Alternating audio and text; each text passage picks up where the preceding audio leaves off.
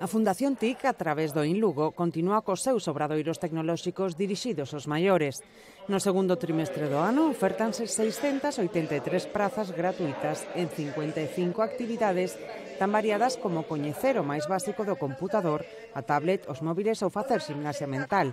Nesta ocasión, os cursos celebraránse en varios concellos da provincia. Se financia con fondos propios da Diputación, que antes estaba, como decía antes, enmarcado dese programa, co cual financiado nun 80% con fondos europeos. A financiación vai ser propia. Non só se van a realizar en cidades, sino se van a levar polas parroquias, nas distintas aulas que ten os concellos habilitados para, para ese fin. 35 se van a realizar por concellos e o resto aquí en Lugo, en Lugo Cidade.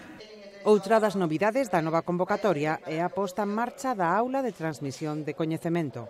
Esa aula se pon en marcha tamén, como decía, a petición do, dos propios usuarios, porque eles mismos se ofrecían a pues, poder enseñar ya que as persoas que veñen ou empezan de cero, co cual eso é moi bon porque interactúan non só transmitindo coñecemento que é o básico e principal, sino tamén por esa labor social que se realiza.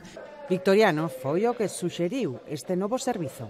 Eh, yo, entre otros comentarios, pues sí que me haría ese, de que las personas mayores no se estén quietas, si es posible, hagan esto.